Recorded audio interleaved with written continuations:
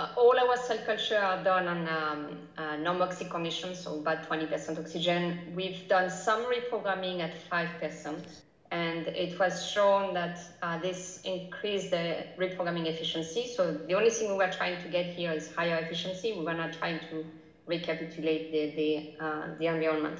I know a few core facilities that have all their uh, facility at 5% oxygen. But The issue here is your cells are going back and forth between uh, incubator and uh, biosafety cabinets. So uh, the, the oxygen level go back and forth, high, down, up, down, up, down, which might not be a good thing. So yes. Ideally, you want a system that is totally enclosed. It is too expensive, so we haven't uh, invested in this at this point and I haven't checked. Um, I mean, I haven't seen in the literature uh, strong strong evidence that we need to go this way, or we need to put so much money to, to invest in this yeah. system.